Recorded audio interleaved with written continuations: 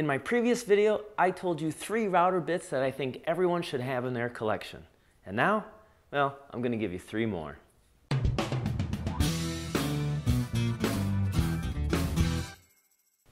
Well, hello folks. Yes, I'm continuing our series on router bits that I feel are essential for you to have in your collection. Now, if you didn't see the first video, there is a link for that below.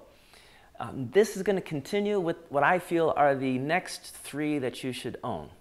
Now, if you're looking at this and you're wondering, well, how can I get my own tabletop router table like this? Well, I do have plans below in the description, and it also comes with a step-by-step -step photo PDF so you can build this.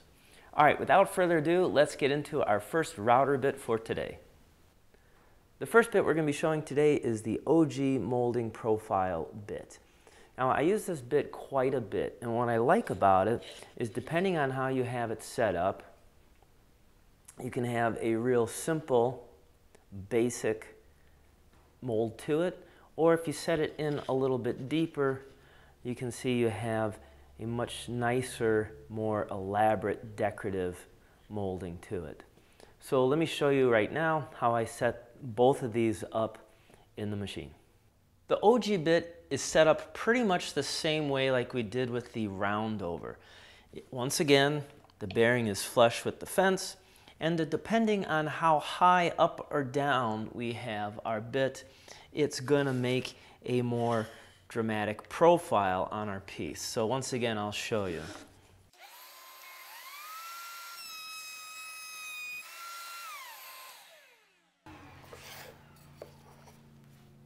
And so you can see we just have that slight S shape going.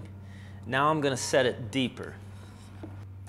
So when I say deeper, what that actually means is it's gonna go deeper into the wood, which actually requires me to raise the bit up out higher on the router table.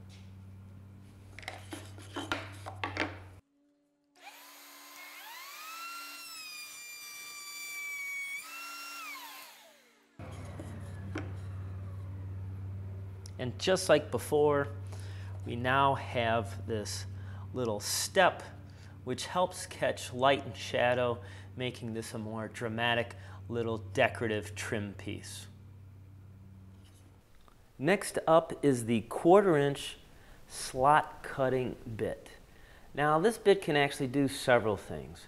It can, just like that spiral upcut bit in the other video, it can make a groove for you all the way down it. But it can also do things such as putting a groove down the edge grain and you can also then with the same bit make a tongue to go in it to give you like some plank flooring. If you make the tongue on some end grain, you can make a groove with a mini tenon.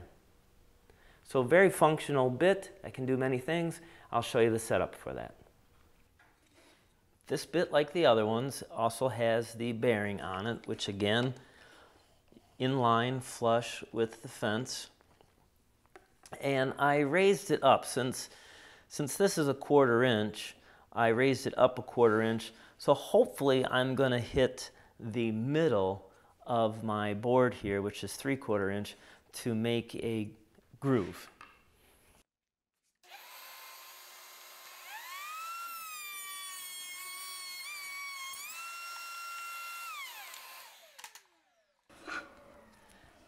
And so there's the groove for it. Now I can also use the same bit to make the tongue. It's a little bit more setup, but it can be done. So let me set that up and show it to you. So this took a little time to set up. I lowered the bit down and I did a couple of practice cuts to make this work. But what I'm going to do now is uh, I'm going to try to cut a tongue to go into this groove using that same bit.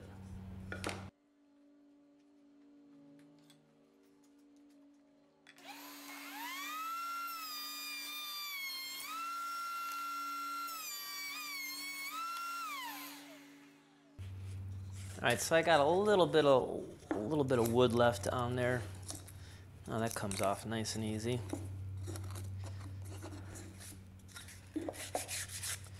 And let's test the fit. Nice. I have a tongue and groove joint now. Okay, now I can do I can do one more thing with it set up just as it is. Using my miter gauge again and another sacrificial piece of wood, I'm now going to cut a, a tongue on the end grain of this piece.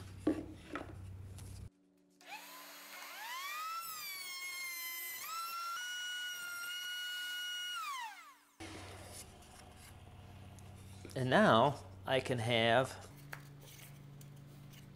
a mini mortise and tenon joint. The last bit is the cove bit. Now the cove bit is primarily used to make moldings that have like fluted columns down it. And although it works well for this, I honestly don't really use it a whole lot for this. However, if I'm making jewelry boxes, well, this bit actually has a very cool little trick it can do. And let me show you both of those setups. With the cove bit in, uh, what this is primarily good for is making fluted columns. And what I mean by that is I've already run the cove bit down the center of this board. And now I've marked uh, two equal spaces on either side of that and I have the fence set up for it, the distance away for it. And so I'm going to push it through that right now and show you.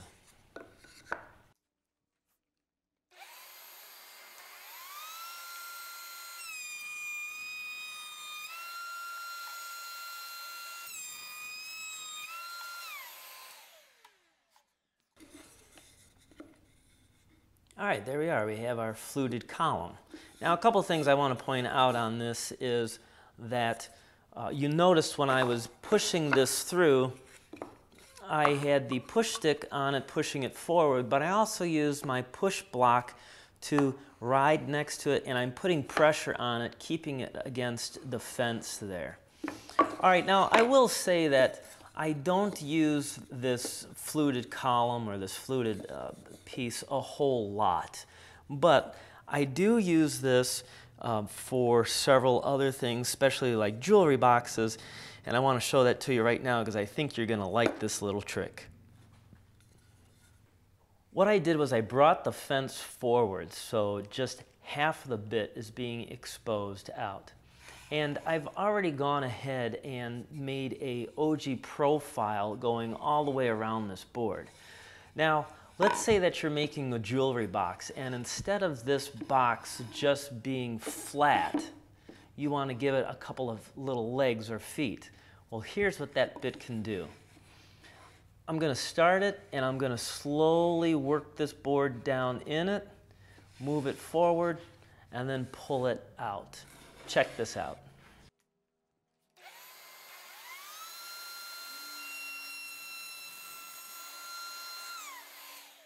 It gives the impression that it actually has legs or feet underneath it.